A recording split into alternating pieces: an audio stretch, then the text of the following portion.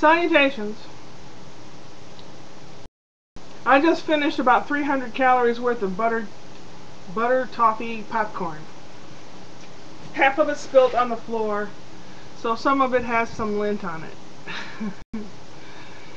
today was spent with my mom and my brother. My brother had a procedure done today at a local hospital where he had a vein cauterized. They stick this wire up your vein in your leg and as they pull it out the tip, tip heats up and it like destroys your vein on the way out. I think it's for circulation problem or something. I really don't know. so mom and I sat and yacked the whole time looking at a catalog that I had from that cooking store that I applied for and showed her the $300 knives and that kind of thing. They couldn't believe that there's stuff that I, that costs like that. I don't know. Mm. Ow. Anyway, I was a designated driver.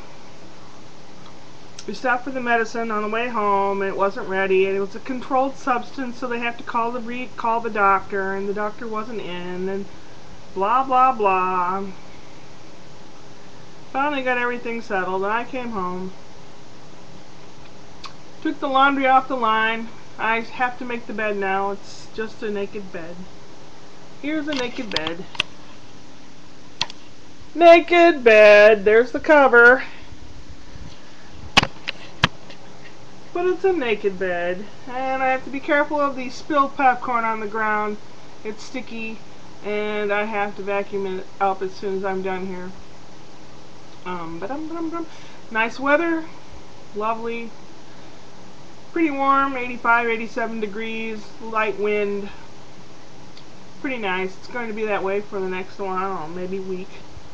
And uh, Sunday I'm volunteering at the International Festival which I will take the camera.